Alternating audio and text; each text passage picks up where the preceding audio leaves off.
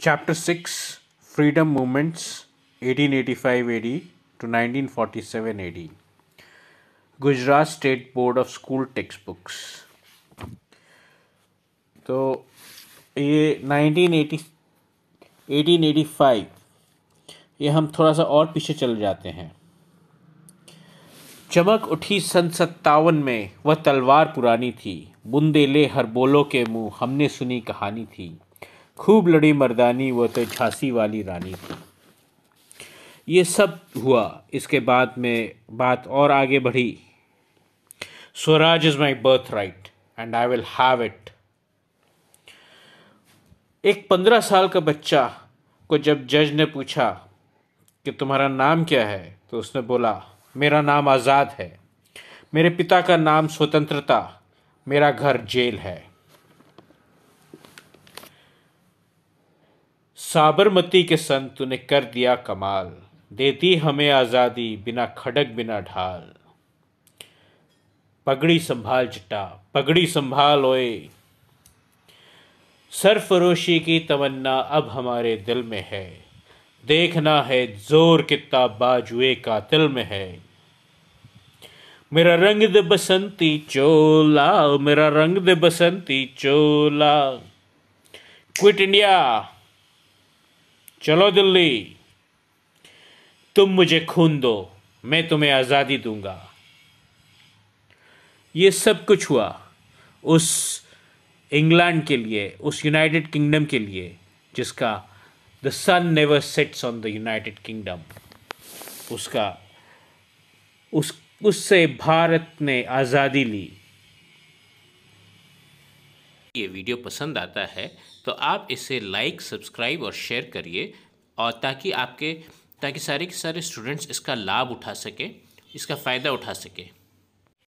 हमने अभी तक पढ़ा है establishment of British rule in India the first war of independence the social economic political educational conditions of the nineteen century in India और अब हम पढ़ेंगे origin and development of nationalism in India and the national movements of freedom struggle.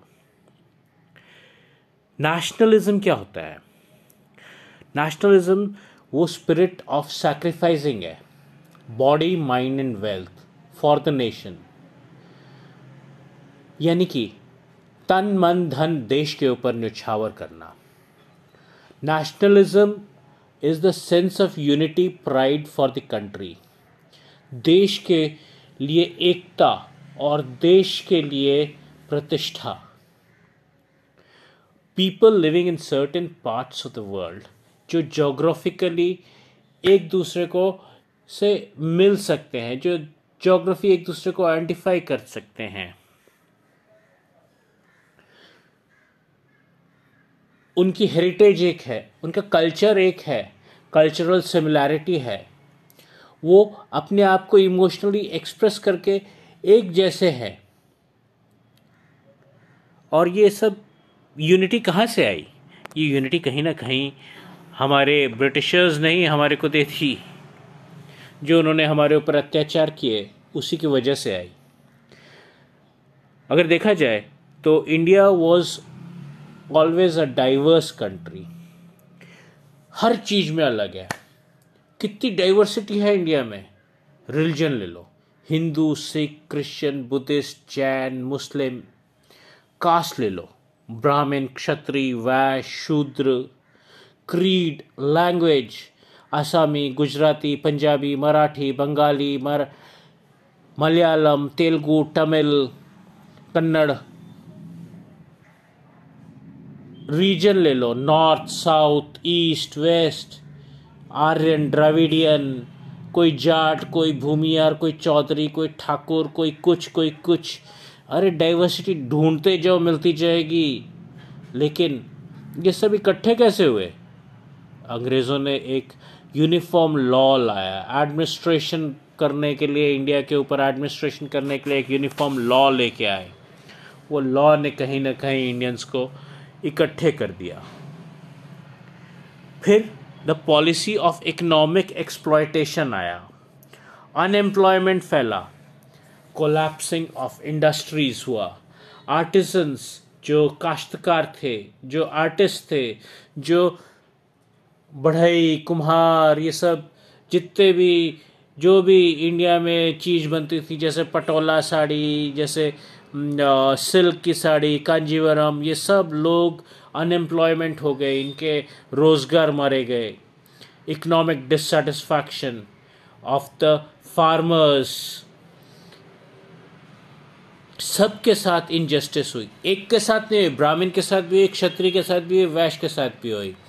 Hindu, मुस्लिम, सिख सबके साथ हुई। पंजाबी, गुजराती, मराठी, बंगाली सबके साथ हुई। आर्यन के साथ भी, द्राविडियन के साथ भी हुई। जाट के साथ भी हुई, चौधरी के साथ भी हुई भूमियार के साथ भी हुई, सबके साथ हुई। तो सब इकट्ठे हुए। यूनिवर्सिटी एंड डाइवर्सिटी आई। कहीं ना कहीं ब्रिटिशर्स नहीं ये नेशनलिज्म के सीड्स हुए इंडिया में। फिर आया इंग्लिश एजुकेशन। इंग्लिश एजुकेशन से एक small and powerful class of educated intellectuals सामने आए, जिन्होंने वेस्टर्न एजुकेशन ली। उन्होंने self governance independence best thinkers and leaders कैसे बने, वो सब यहीं से आया। उन्होंने मीडियम चूज़ किया मीडियम लिटरेचर था। न्यूज़पेपर्स था इंग्लिश था हिंदी था रीजनल लैंग्वेजेस थी। लोकल लैंग्वेजेस थी। गुजराती में न्यूज़पेपर मराठी में, तमिल में, बंगाली में, उर्दू में, पंजाबी में, हर भाषा में, उस उस प्रांत के बारे में न्यूज़ उस उस प्रांत के बारे के में लोगों को इकट्ठा करा गया। और ये सब कुछ हुआ कहीं ना कहीं ब्रिटिशर्स के, जो जो उन्होंने इंडिया में करा उसके वजह से। फिर आर्कियोलॉजिकल रिसर्च आई, जिसने बताया कि इंडियन टेक्स्ट जिसको बाहर निकाला गया, खोदा गया अनर्थ किया गया उनको ट्रांसलेट किया गया, उससे पता चला कि इंडिया कितना ग्लोरियस पास था इंडिया का। और ये सब दुनिया के सामने उजागर हुआ। सब लोगों के मन में एक ही प्रश्न आया कि इतने महान सभ्यता के, इतने ग्लोरियस पास के लोगों को कैसे बंधुआ मजदूर, कैसे इंस्लेव किया गया? फिर आया telegraph. Telegraph postal system railway ये सब आए। तो इससे क्या हुआ? कम्युनिकेशन एंड ट्रांसपोर्ट पीपल सब लोगों के, बंगाल, कश्मीर से लेके कन्याकुमारी तक, बंगाल से लेके बिहार तक और गुजरात तक, सारा इंडिया एक हुआ। इनजस्टिस तो सब जगह हो रही थी। इनजस्टिस हो रही थी इंडियंस के ऊपर ब्रिटिशर्स के द्वारा। एक चार्टर्ड जॉब्स निकली। लुटियंस वर्नाकुलर प्रेस एक्ट बना। फ्रीडम ऑफ़ प्रेस कल्चर हुआ। Ilbert bill Ripon's transaction Ripon's time ये सब हुआ। फिर इंग्लैंड के जो लोगों, लोग थे, उनके ऊपर इंडियन जज अपना वो पास कर सकता था। अपनी जजमेंट पास कर सकता था। ये बिल भी आया। इंग्लैंड ने अपोज किया। इंग्लिश लोगों ने अपोज किया। गवर्नमेंट ने विड्रॉ करा बिल को। और Indians got prepared for the national unity और इस तरीके से इंडियंस इंडिया की यूनिटी के लिए अपनी मातृभूमि के लिए, अपने देश के लिए, अपने स्वराज के लिए लड़ने के लिए यूनाइटेड हो गए। The establishment of the Hindi Rashtra Mahasabha जिसको बाद में कांग्रेस कहा गया। ये वही कांग्रेस है जिसने आज़ादी की लड़ाई में एक महत्वपूर्ण योगदान दिया था। एक ज़रूरत समझी गई नेशनल इंस्टीट्यूट जो एक दिशा निर्धारित करे एक आइडियाज़ के लिए नेशनलिज्म के लिए, भारतीयों की क्या रिप्रेजेंटेशन रहेगी अंग्रेज़ों के खिलाफ? ऐसी बात नहीं है कि कोई चीज़ नहीं थी पहले। कुछ कुछ ऑर्गेनाइजेशंस थी पहले भी। जैसे कोलकाता में थी ब्रिटिश इंडियन एसोसिएशन और इंडियन एसोसिएशन मुंबई में थी बॉम्बे एसोसिएशन मद्रास में थी। चेन्नई में। मद्रास में।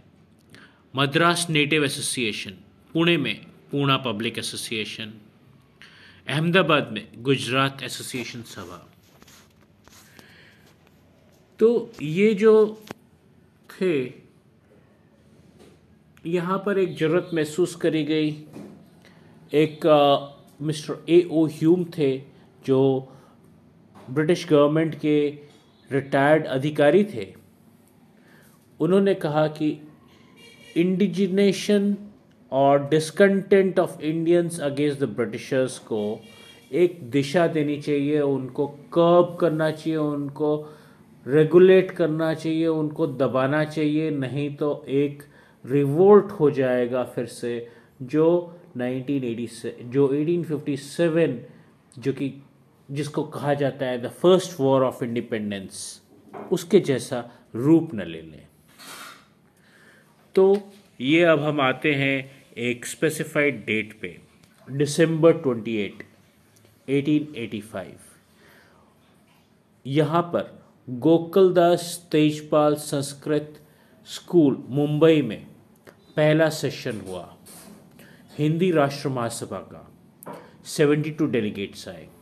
प्रेसिडेंट थे इसके व्योमोश चंद्र व्योमोश चंद्र बैनर्जी इसके मुख्य लीडर्स थे दादा साहिब नारोजी, दादा भाई नारोजी, फिरोज शाह मेहता, बदरुद्दीन तैयब जी के टी तेलंगना, गोपाल कृष्ण गोखले, दिनशा वछाछा इस तरह के नाम थे। फ़र्स्ट फ़ेज़ 1885 से लेके 1885 से लेके 1905 तक। का ये पंद्रह साल का फ़ेज़ है।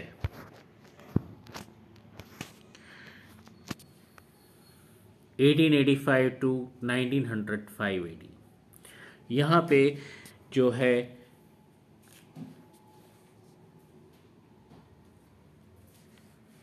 द हिंदी महाराष्ट्र द हिंदी राष्ट्र महासभा ने डिमांड करे सरकार से पॉलिटिकल राइट्स के लिए इकोनॉमिक सोशल डेवलपमेंट के लिए एजुकेशनल प्रोग्रेस के लिए.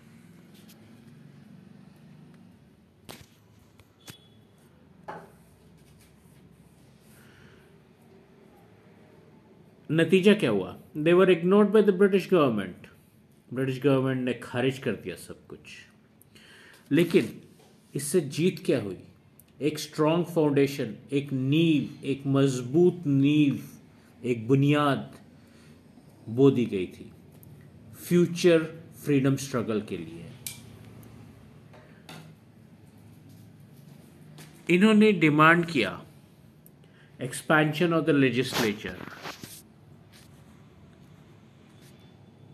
reduction in military expenditure military expenditure घटाओ, एक लेजिस्लेचर को और ज़्यादा बढ़ाओ टैक्सेस घटाओ। रिलीफ दो फार्मर्स को जो कर्जे में डूबे हुए हैं। सिविल सर्विसेज़ एग्ज़ाम जो है, वो इंडिया में और इंग्लैंड में, लंदन में इकट्ठे हों, एक ही दिन साइमल्टेनियसली हों। फ्रीडम ऑफ़ एक्सप्रेशन दो। हमको भी आज़ादी दो कि हम भी आज़ादी से सब कुछ एक्सप्रेस कर सकें।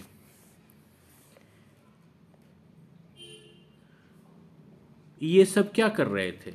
Unfair policies of the government को अपोज कर रहे थे through constitutional democratic method discussion resolution petition to the viceroy kind soft modest attitude में इनको कहा गया मॉडरेटर्स नरम दल। इन्होंने क्या किया? इन्होंने भी कुछ महत्वपूर्ण काम किया है। Organise the educated middle class जो एजुकेटेड मिडिल क्लास था, उसको संगठित किया। प्रिपेयर करा। नेशनल अवेयरनेस जगाई उनमें। इनके सॉफ्ट रवैये को देखते हुए बहुत सा विरोध हुआ।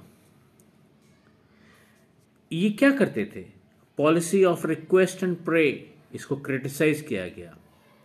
रेडिकल चेंज इन पॉलिसीज़ आई। कौन लेके आया? बाल, पाल, लाल। वैसे बोला जाता है लाल, बाल, पाल। यानी कि लाल से होते हैं लाला लजपत राय, बाल से होते हैं बाल गंगाधर तिलक, पाल से होते हैं बिपिन चंद्र पाल। तो इन्होंने इनका क्रिटिसिज्म किया और ये कहलाए रेडिकल लीडर्स यहीं से गरम दल जो है उसकी बुनियाद पड़ती है। रेडिकल गरम दल। इन्होंने क्या किया? इन्होंने रेडिकल चेंज लाए। जो माइल्ड पॉलिसी थी कांग्रेस की या हिंदी राष्ट्र महासभा की, उसमें रेडिकल चेंजेस लाए। उन्होंने अपने आप में बिलीव करने की क्षमता को उजागर किया। और हमारी पावर में बिलीव इन आवर पावर जो इंडियंस की पावर है, उसमें बिलीव करो। गवर्नमेंट की इंटेंशंस में मत बिलीव करो। बाल गंगाधर तिलक ने बोला Swaraj is my birthright and I will have it Swaraj मेरा जन्मसिद्ध अधिकार है और मैं उसे लेकर रहूँगा। लाल बाल पाल इफ़ेक्ट इंडियन यूथ पे नशे की तरह छा गया। उनको जगा दिया। उनमें जोश भर दिया। एग्रेशन भर दिया। कॉन्फिडेंस भर दिया। इन्होंने ये सब कैसे किया लेकिन? इन्होंने न्यूज़पेपर्स के माध्यम से ये सब करा। जैसे बाल गंगाधर तिलक ने मराठा अंग्रेज़ी में, केसरी मराठी में न्यूज़पेपर निकाला। लाला लजपत राय ने द पीपल अंग्रेज़ी में और पंजाबी दूसरा न्यूज़पेपर निकाला। लोकल लैंग्वेज पंजाबी में। बिपिन चंद्रपाल ने न्यू इंडिया अंग्रेज़ी में डाला और वंदे मातरम उन्होंने बंगाली में न्यूज़पेपर डाला। 1905 वॉइस रॉय कर्जन पार्टीशन कर देते हैं। बंगाल का। कारण बताया गया? ऑफ़ कोर्स इंटेंशन क्या था? डिवाइड एंड रूल लोगों को अलग अलग कर दो, फिर रूल करना आसान है। और कारण बताया उन्होंने कि एडमिनिस्ट्रेटिव ईज बंगाल को दो भाग में बांट के हम आराम से उसको गवर्न कर सकते हैं। तो मूवमेंट आई। बांग भंग मूवमेंट, ये लॉन्च करी गई। इसमें क्या किया गया? बॉयकॉट किया गया। नेशनल एजुकेशन इंडिजिनस प्रोपोगंडा मतलब जो हमारे एजुकेशन थे, जो हमारे न्यूज़पेपर थे, जैसे मैंने आपको अभी बताया, ये न्यूज़पेपर द मराठा, फिर Kesari, Punjabi the people Vande Mataram new India ये सब न्यूज़पेपर और इस जैसे बहुत सारे और न्यूज़पेपर हर भाषा में, इनके थ्रू जागरूकता पैदा करी, लोगों में, सारे भारतीयों में, इकट्ठा किया, एकजुट करा। 1911 में मेजर वॉइस रॉय जो था मेजर विक्ट्री आई वॉइस रॉय ने डिसीज़न रिवर्स किया। पार्टीशन ऑफ़ बंगाल नहीं होगा। ये भारतीय राष्ट्रीय हिंदी मतलब हिंदी राष्ट्रीय महासभा की पहली जीत थी, कांग्रेस की पहली जीत थी। रेवोल्यूशनरी एक्टिविटीज़ इन इंडिया ये तो आपने देख ही लिया कि लाल बाल पाल के इफ़ेक्ट से जो इंडियन युद्ध था, वो जाग गया था, जागरूक हो गया था। वो एंथुजियास्टिक था। और कॉन्फिडेंट भी था एग्रेसिव भी था। तो अब ये यूथ जो है यंग पीपल ये यूथ जो है यंग पीपल इन्होंने क्या किया? ये स्वराज चाहते थे, हर कीमत पर। वो सैक्रिफाइस करने के लिए तैयार थे सब कुछ अपने आप को। अपने आप का बलिदान देने के लिए तैयार थे, मुस्कुराते हुए। और दूसरों की जान भी लेने के लिए तैयार थे। वासुदेव बलवंत फाटके। रेवोल्यूशनरी एक्टिविटी उसने स्टार्ट करी। उसने बैकवर्ड क्लास जो कहते हैं कि पिछड़े वर्ग के लोगों को उसने एकजुट किया। उसको उन्होंने ट्रेनिंग दी, लड़ाई की ट्रेनिंग रेंट, एक चीफ प्लेग कमिश्नर था। जब प्लेग फैला था महाराष्ट्र और मुंबई में तो उसने काफ़ी लोगों को तंग किया था। महाराष्ट्र और मुंबई ने, में उसने और उसके आदमियों ने रेंड चीफ कमिश्नर जो था, उसके आदमियों ने।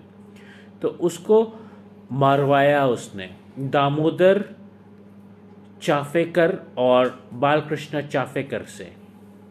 इन दोनों ने मिलके मारा उसको। फिर आते हैं विनायक दामोदर सावरकर। इन्होंने शुरू किया मित्र मेला 1900 एडी में, जो बाद में जाके बना अभिनव भारत। इन्होंने एक बुक भी लिखी, Indian first war, Indian war of independence, nine 1857 ये पहली ऐसी पब्लिकेशन होएगी जो पहली ऐसी बुक होएगी जो पब्लिश होने से पहले ही बैन हो गई। इन्होंने इंडिया में ही नहीं, इंडिया के बाहर भी जाके एब्रॉड में भी रेवोल्यूशन फैलाया इंडिया का। नतीजा क्या हुआ? लाइफ इम्प्रिजनमेंट मतलब आजीवन कारावास। कहाँ पर? Cellular jail Kala Pani, Andaman and Nicobar islands India. वहाँ पर इनकी हालत ख़राब हो गई, हेल्थ ख़राब हो गई तो इनको हाउस अरेस्ट किया गया इंडिया में। फिर आते हैं अनुशीलन अनुशीलन समिति इस्टेब्लिश हुई कोलकाता में।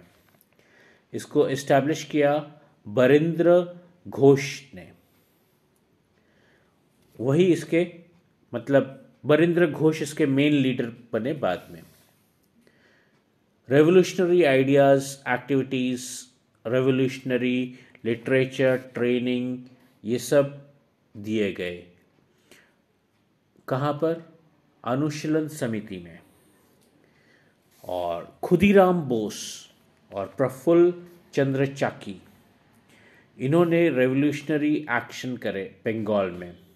प्लान था मैजिस्ट्रेट को मारना किंग्सफोर्ड मैजिस्ट्रेट बॉम्ब फेंका गया उसकी वैगन पर, लेकिन उसमें मैजिस्ट्रेट किंग्सफोर्ड नहीं था, बल्कि एडवोकेट कैनेडी की बीवी, की वाइफ बीवी और उसकी बेटी थी। वो दोनों मारे गए। Khudiram Bose was sentence to death to be hang to death by neck यानी फांसी। प्रफुल्ल चक्की जो था, उसने अपने आप का बलिदान देने की सोची। उसने अपने आप को गोली से मार लिया। हिंदू मुस्लिम यूनिटी दिखाई गई राम प्रसाद राम प्रसाद बिस्मिल और आशफाक उल्ला खान। वैसे बाय द वे ये वीर सावरकर की फ़ोटो है। ये खुदीराम बोस की है। राम प्रसाद बिस्मिल जिसकी हम अभी बात कर रहे हैं, उसकी ये फ़ोटो है। और आशफाक उल्ला खान की ये फ़ोटो है। तो हिंदू मुस्लिम यूनिटी दिखाई गई राम प्रसाद बिस्मिल और आशफाक उल्ला खान के द्वारा।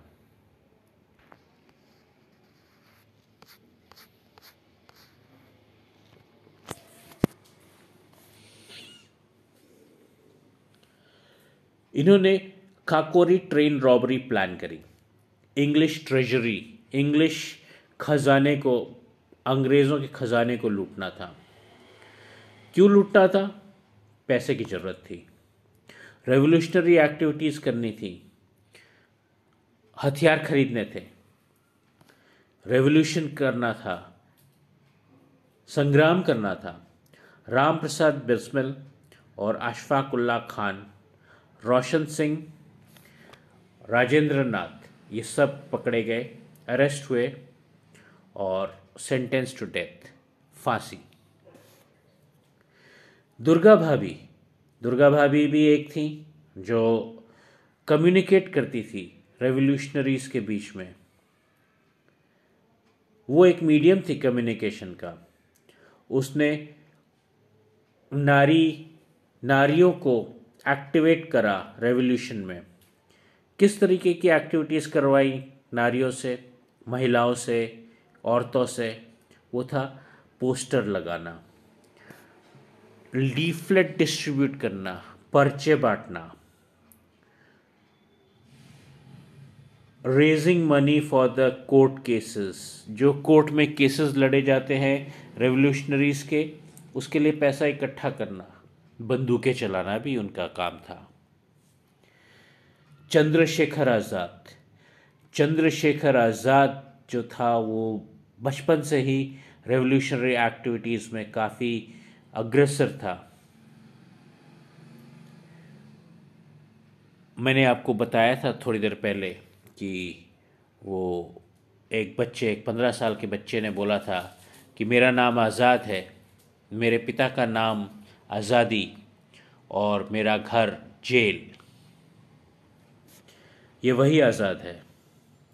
इसने कसम खाई थी कि ये कभी ज़िंदा नहीं पकड़ा जाएगा। इसने काकोरी रॉबरी में भी पार्टिसिपेट किया था।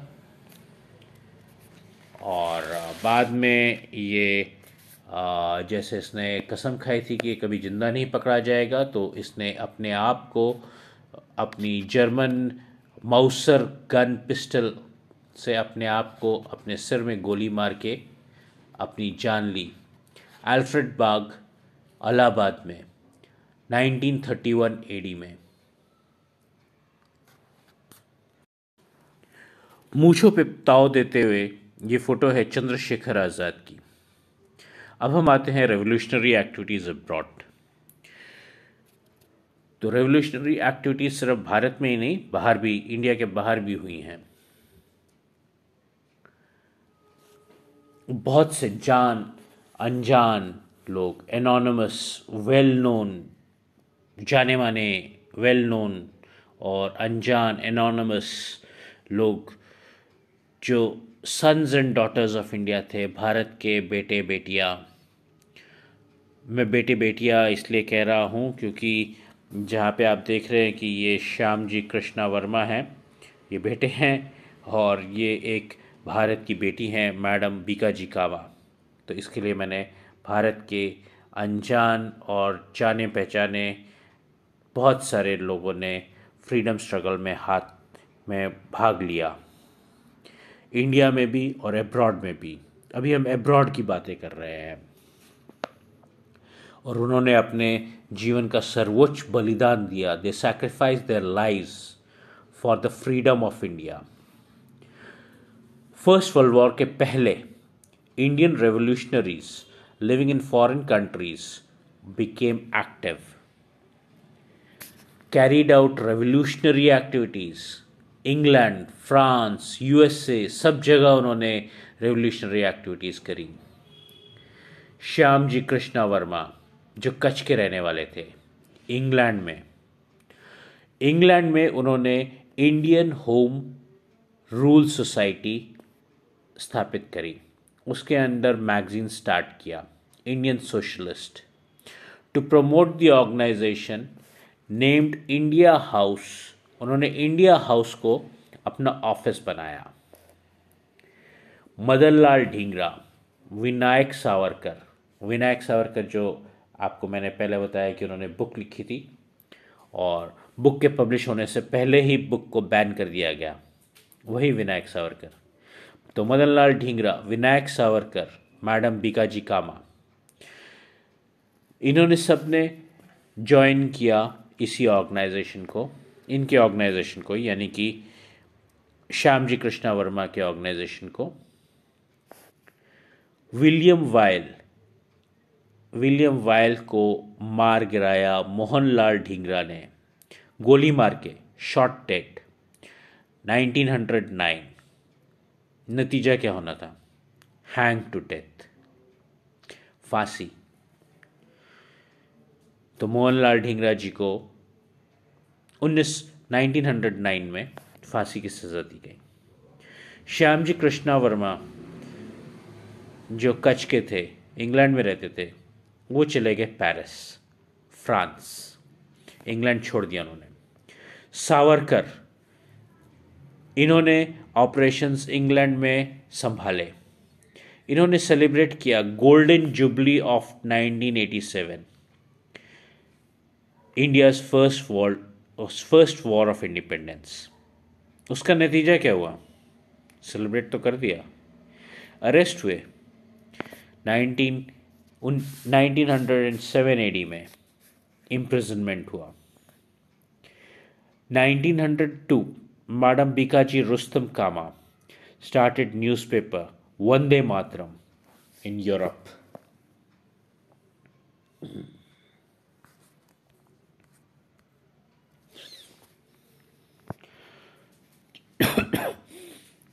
Stuttgart Germany में 1907 में ये इन्होंने हॉस्ट किया मतलब हमारे देश का पहला तिरंगा जो था, उसको एक इंटरनेशनल सोशलिस्ट कॉन्फ्रेंस में इन्होंने फहरा दिया। आदमी तो आदमी, औरतें भी बहुत तेज़ हैं। सरदार सिंह राणा, जो श्याम कृष्ण वर्मा के साथी थे, उन्होंने रैलीज कंडक्ट करी पेरिस में। Against the British operation Britishers के अत्याचारों के खिलाफ। नतीजा क्या हुआ? डिपोर्टेड फ्रॉम फ्रांस इस तरह के बहुत सारे गिनत, अनगिनत जाने माने अनजान रेवोल्यूशनरी बहुत सारे। उन्होंने बहुत एक्टिव एफर्ट करे इंडिया की आज़ादी के लिए इंडिया को लिबरेट करने के लिए इंडिया से बाहर भी। उसमें से कुछ जाने पहचाने नाम हैं तारकनाथ दास, लाला हरदयाल, राजा महेंद्र प्रताप ऑफ़ अफ़गानिस्तान बरकतुल्ला बरकतुल्ला रस बिहारी घोष, चंपक रमन पिल्लई। की लेंथ लंबी होने की वजह से पार्ट वन हम यहीं पर एंड करते हैं। पार्ट टू हम आपके लिए बहुत ही जल्द लेकर आ रहे हैं। इन द मीन टाइम मेरे को ये पूरा विश्वास है कि आपको ये बहुत इंटरेस्टिंग लगा होगा। तो आप इसको लाइक शेयर और सब्सक्राइब ज़रूर करिएगा। जय हिंद।